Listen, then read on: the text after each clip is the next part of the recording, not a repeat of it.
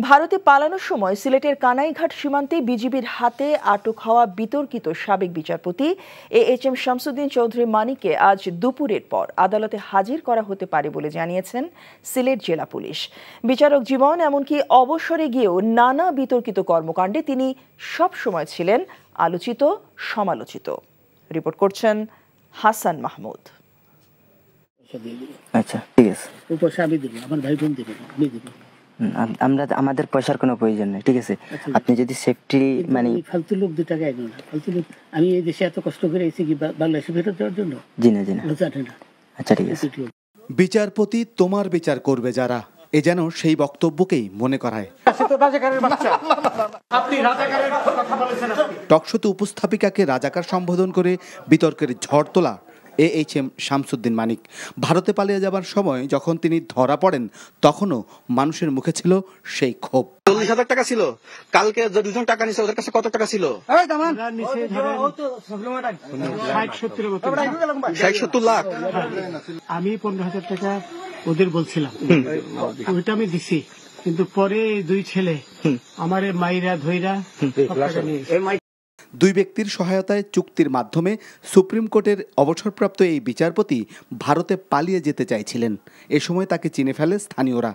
পরে তারা সিলেটের কানাইঘাটের ডনা সীমান্তের বিজিবি ক্যাম্প সদস্যদের হাতে তুলে দেন তাকে। উনিশশো আটাত্তর সালে হাইকোর্টে আইনজীবী হিসেবে কর্মজীবন শুরু করেন শামসুদ্দিন মানিক। ছিয়ানব্বই সালে হন ডেপুটি অ্যাটর্নি জেনারেল। দু হাজার এক সালে আওয়ামী লীগ সরকার তাকে অতিরিক্ত বিচারক হিসেবে হাইকোর্টে নিয়োগ দেন। পরে বিএনপি নিয়োগ বাতিল করলেও দু হাজার নয় সালে আওয়ামী লীগ সরকার আবারও তাকে পূর্ণ বিচারক হিসেবে নিয়োগ দেয়। সেই ধারাবাহিকতায় তিনি আপিল বিভাগের বিচারপতি হন। কিন্তু এই বিচারপতি দীর্ঘ প্রায় দুই দশক ধরে নানা কাজে বিতর্কের ঝড় তুলেছেন। দু হাজার তিন সালে ট্রাফিক পুলিশ কর্মকর্তাদের বিরুদ্ধে তার গাড়ি দেখেও স্যালুট না করায় আদালত অবমাননার অভিযোগ করেছিলেন। তিনি ক্ষমতার অপব্যবহার করে বিমানের ইকোনমি শ্রেণির টিকিট কিনে জোরপূর্বক বিজনেস ক্লাসে ভ্রমণ করেন। অবসরে যাবার পর তিনি চৌষট্টিটি মামলার পূর্ণাঙ্গ রায় লিখেছেন বলে অভিযোগ রয়েছে। মানিকের বিরুদ্ধে নবম সংসদে নিন্দা এবং সংবিধান লঙ্ঘনের অভিযোগ আনা হয়েছিল। দু হাজার পনেরো সালে প্রধান বিচারপতির নির্দেশে তাকে বেঞ্চ থেকে সরিয়ে দেওয়া হয়। অবসরে যাবার সময় এই বিচারপতিকে সংবর্ধনাও দেয়নি অ্যাটর্নি জেনারেলের অফিস ও supreme court bar association.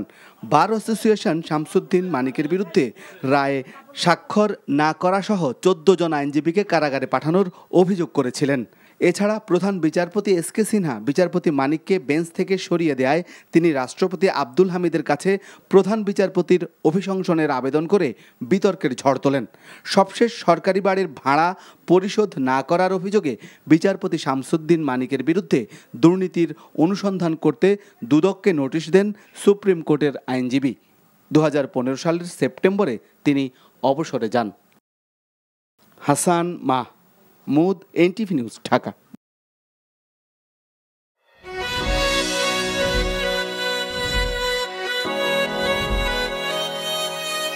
এই শুনছো? উঠো না। আমি বলব "হ্যাঁ, একটু ঘুমাই। তোর বাইরে লেগে এক কাপ চা বানাই দে। ভাইয়া চাই কি চিনি বেশি দিব নাকি কম? দুই চামচ লবণ দিয়ে দে। চোখে চেয়ে হাত ছুঁয়ে আছে সাজানো কথা বলা যেন শেষ না আমি যে বিয়ে করছি আমার যে বউটা একটু ঘোরা উচিত কারও মাথায় আছে? থাকি পথে আসলে তুমি বুঝি রাঙা রথে। বিভোর হয়ে থাকি প্রতিটি ক্ষণ। ডাক্তারের কাছে যাব স্যার। আমার একটু নিয়ে চলেন না।